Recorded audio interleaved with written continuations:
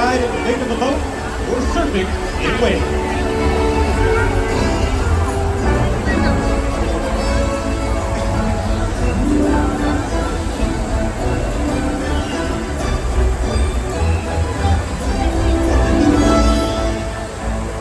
Orcas love to be touched. And often see them rubbing their bellies on rocks when they can. Watch it. You see it, baby.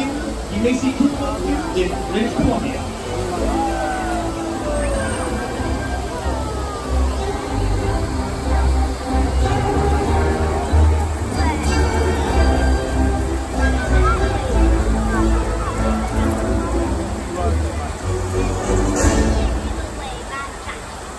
See whales imitating each other in the wild. You see here SeaWorld all the time. Always mimicking and learning from one another.